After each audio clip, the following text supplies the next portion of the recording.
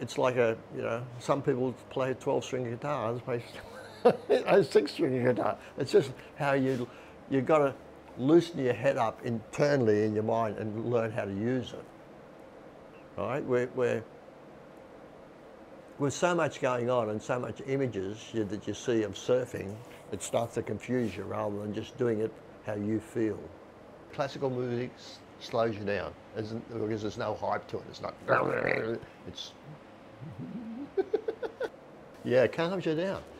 I play it all the time here. Uh, I used to play it in the shaping bays, everything.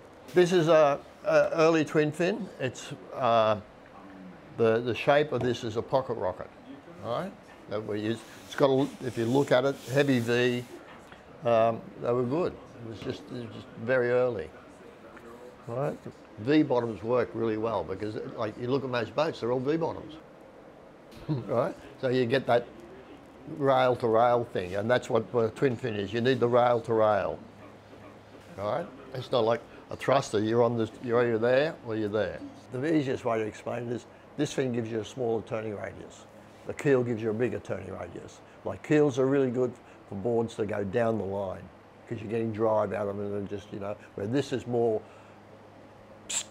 you know, like these are good for bowls, right? Where you drop in, and where keels are down the line more. I'm starting to run concaves through the front. Single, double, and then a pretty heavy V. Running into the concaves running into the V, so it feeds it. That, that's basically the same. I'm doing some with pintails, and then some, the longer ones, seven foot ones, we just got a little swallowtail.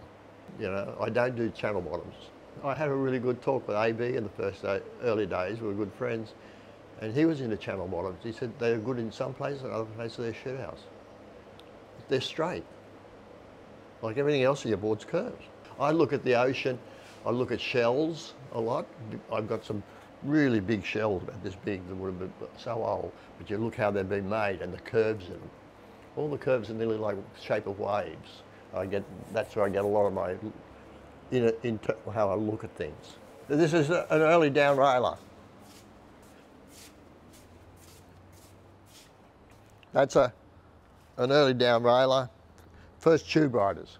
Before these, all boards had roll bottoms. So these are the first boards to tube ride.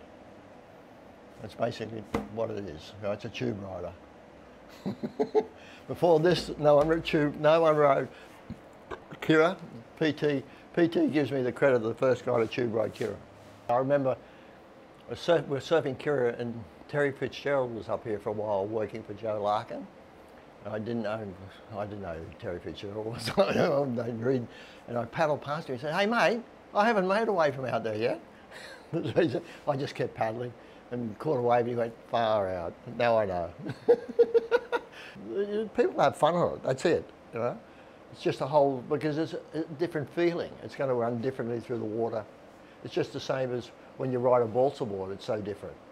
It's just beautiful the way you feel the, how it chatters, chatters and goes through the water and cuts everything. And like and like George Greenough always tells me, he said, waves don't change. If they go good, they'll go good forever. The only thing that changes is the way you think about things.